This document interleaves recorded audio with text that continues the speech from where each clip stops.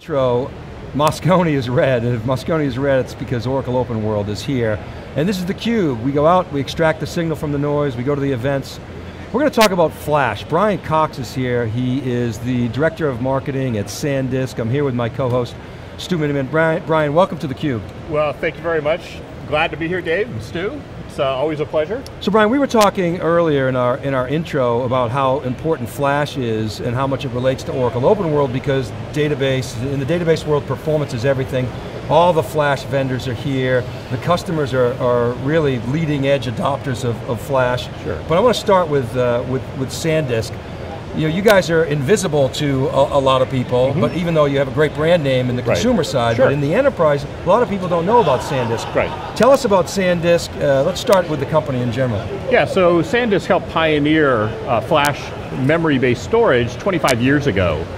And uh, in that, they've continued to uh, you know, innovate. People see their products that take the form of everyday use products, such as camera cards, right? The SD cards or the thumb drives. Uh, so we've been able to help customers have a much richer experience with those devices. Uh, we also help out with a number of the smartphone manufacturers, uh, the Ultrabooks, uh, the tablets. Uh, you know, if you pop the cover on those, many of those are using SanDisk technology to give you that, that very rapid performance in a very small, cost-effective, low-power uh, form factor. Well, the same kind of challenges that we run up against about losing battery power and wanting our apps to run faster as consumers uh, also applies to the data center. So we look at uh, what we can do to further unleash the um, application performance, enhance the user experience, drop the cost of running uh, the infrastructure that you have in your storage and uh, servers. And so we're a key enabler of that uh, performance and efficiency. So before we get into the enterprise, I just want to share with people, so I got some stats on, uh -huh. on SanDisk that I want to share with the audience. It's, it's, it's a $5.6 billion company yeah. in, in, revenue. You got over $4 billion in cash on the balance sheet, nearly a billion dollars in, in R&D investment, 5,000 employees globally. You guys -huh. are a substantial organization. Right. And now applying a lot of that prowess to, to the enterprise. So talk a little bit more about the enterprise play. Yeah, happy to do so. You know, and it's a nice thing, because I can go up to most any customer and mention SanDisk, and they'll instantly recognize us from their experience as consumers. They love the product, it's a very positive halo for me to then discuss, you know that rich user experience that you get uh, in using your, uh, you know, your, your Ultrabook or using your smartphone, you know, that same kind of thing we're bringing to the data center. And, and, to us, it's, it's really all about the applications. It's all about the apps. And what can we do to help uh, provide better service to end users by having those apps run not only more quickly, but more predictably, uh, but then also help the data center manager lower the infrastructure costs that they've been, that they've been saddled with. And it's not just uh, lowering the amount of the hardware costs and the, you know, the cooling and the power, but it's also the licensing costs I think are very, very key. The more that we can uh, unshackle the massive amounts of hardware that's needed to run the apps, it allows the uh, IT managers to do more innovative things instead of just maintaining licenses and paying for those costs and go and invest in new deployments, new uh, workflows to help the business run better. Well, we were talking about this off camera, and Stu, we've done work on this. Uh, if you could go check out Wikibon's research on uh, best practices in Oracle environments, if, if you invest a little bit more in optimizing your storage infrastructure mm -hmm. and utilize Flash, what you're going to do is reduce the number of cores right. that you require to de deploy and support these applications. Of course, how does Oracle price be priced by, by core. core. So exactly. you reduce your number of cores. You're attacking the biggest problem of, of, of, of CapEx within yes. an Oracle environment. Yes. Brian, what are some of the other problems that you see customers trying to, to solve that where Flash fits well? Well, so once again, I want to bring it back to the applications. You know, what can I do to help that uh, CFO run their Oracle apps financials uh, more quickly so they can have their customers shave a day or two off of month-end close. That has meaningful business impact uh, for the financial reporting of a company. Or I can help in the operation side, uh, run the ERP uh, application so you can get in another batch run or two per day and get much more optimized in regards to your production. That reduces costs, it helps you be much more efficient in delivering product to your end customers. You know, all that's, a, a lot of that's enabled by the underlying infrastructure and what can I do with using you know, flash technology uh, to do that. And so that's what SanDisk is doing, is being a key enabler for the enterprise in helping with application performance and the overall cost of that hardware software infrastructure. Now what was that you're just holding up? Hold that up. Well, so yeah, so I have uh, a number of uh, uh, products. This is actually a Hold prototype. Right face, so this is a, uh, a, prototype of something that was just announced um, uh, a few months ago.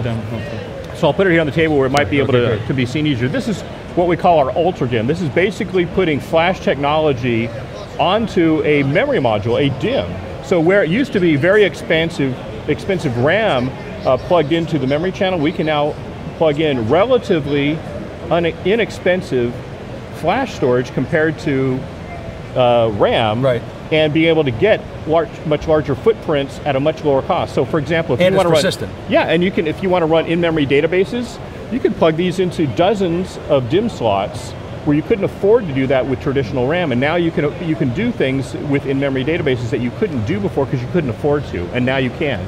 That unleashes a whole new level of application performance. So everybody knows you know, about the flash technologies that you see on the SD cards, you see on the thumb drives, and so if you think conceptual about how this all builds up. This is a, a drive, it looks like a hard drive, but what it is, it's really a bunch of the flash chips that you would normally, if you popped open a um, SD card, and you just stack those up. Put it into the same form Where's the factor. spinning disk in there? There is none. and so it, it's more reliable. I can drop this thing and not worry about crashing the drive. It runs more Open that up again. Let's, let's show, the, show the audience there. Right, so you can see how all the flash memory chips. Amazing packaging. Yeah, stack up. Now what's the capacity of that? You know, well, you, you can get, depending on if it's SAS or SATA, we're already up to terabyte drives and that's going to grow even more rapidly. So, you know, I came from uh, the system vendor side, worked at uh, the leading storage companies, we worked at uh, leading server companies, and what we're seeing is the technology of flash is quickly catching up to where we've seen things like hard drives, more traditional technologies, which max out now at four terabytes. We'll be soon seeing that reached with flash drives. So, it, but it plugs in to the exact same spot as a traditional hard drive. One for one, easy swap in. In fact, my college age son said, Dad, can you get me a SanDisk drive?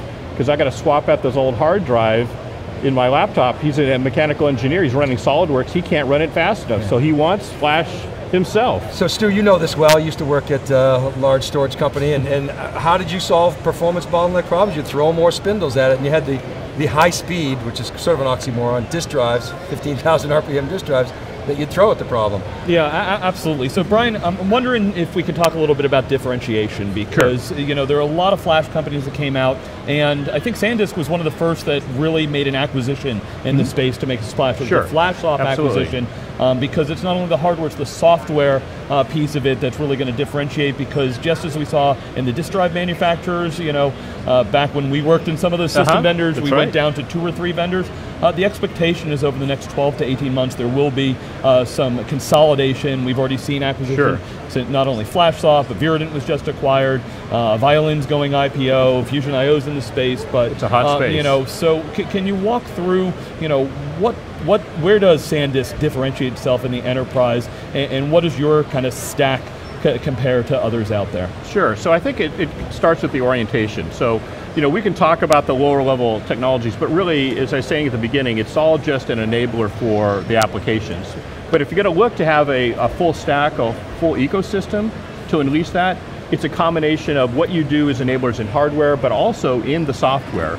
So we've made a number of acquisitions at SanDisk uh, to do that, uh, that specific thing. So one, as you mentioned, was FlashSoft, and that is a, a server-side caching software. And what it does is it, it helps to optimize, you know, putting that hot data onto the fastest storage that you can get and thus unleashes new levels of application performance that you never saw before. But you need some intelligence to make sure that you're always hitting the hot data to the, really the fast storage. And that's what FlashSoft helps to do, is to maximize the return that you're getting on this investment. And we also bought a company uh, uh, called Schooner, which uh, helps with in-memory databases. It provides uh, the intelligence to effectively have a, uh, an extension to your DRAM, but put it onto flash. And so we're looking at ways to potentially marry uh, that technology with what we have with our flash DIMMs called the Ultra UltraDIMM that'll be coming out uh, this next year.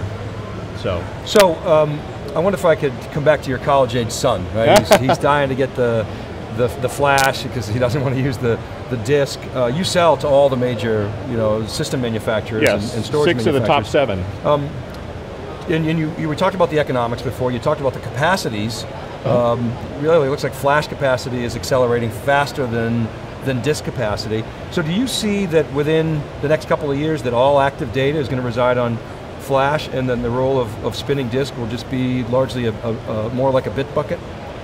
Well, you know, these transitions all take time, right? There's a lot of infrastructure that does have to get uh, paid off for a full ROI, uh, but we do see the trends inevitably heading that direction. Uh, you know, where I worked previously at EMC, previously at NetApp, we were always predicting this bathtub effect. And so what you have on one end for the really active uh, data is that's moving to flash. And then on the other end, it's for the cold data, we're seeing some of the technologies such as tape actually getting a bit of a resurgence. Uh, maybe some SATA hard drives, but the stuff that's in between, the fiber channel drives or the SAS drives, it's going to be a very difficult uh, environment going forward when Flash has the capacities with superior speed and lower cost than what a fast hard drive does. So when you look at your market opportunity, do you see the opportunity as, as simply um, you know, taken over for where the spinning disks were, or is there incremental value that you're able to drive because of application performance, maybe rewriting the way applications are written, that will actually, in your view, will that accelerate IT spending?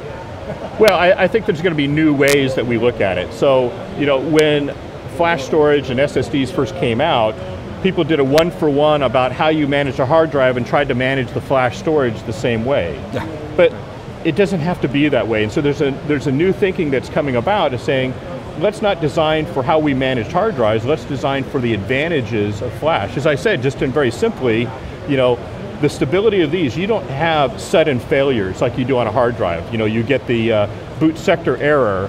You, you tend not to have that frequency of oh my God, uh, the whole thing just died, what's going to happen to my data?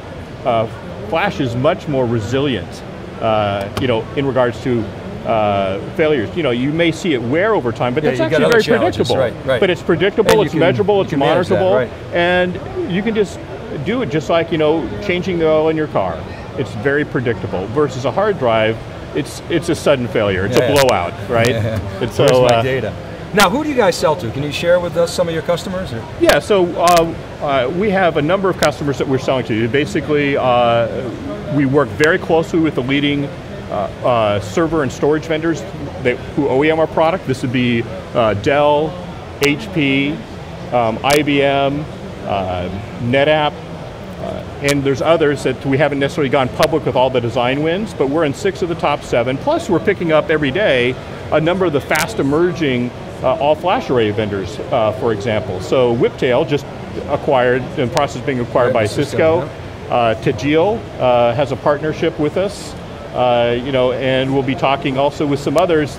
May, news may even hit and go public this week. So we're seeing an attraction to the vision that SanDisk has about unleashing application performance and taking that really to a different level of discussion than what they're hearing from a lot of the other flash storage vendors who tend to talk about PE cycles or IOPS or over provisioning, but not really talking about the applications like the Oracle apps or the ERP.